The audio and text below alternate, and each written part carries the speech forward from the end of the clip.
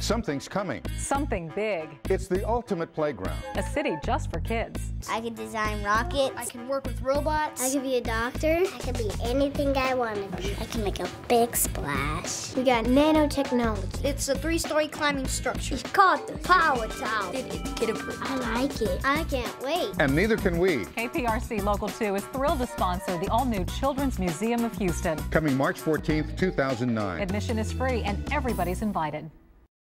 KPRC Local 2 invites you To a playground for your mind. It's the all new Children's Museum of Houston. It's a place where kids can choose to be whatever they want to be. It's about play, power, and potential. Report City happenings live from the Kid TV2 news desk. Get fit and 16 action packed areas. It's all new and twice as big.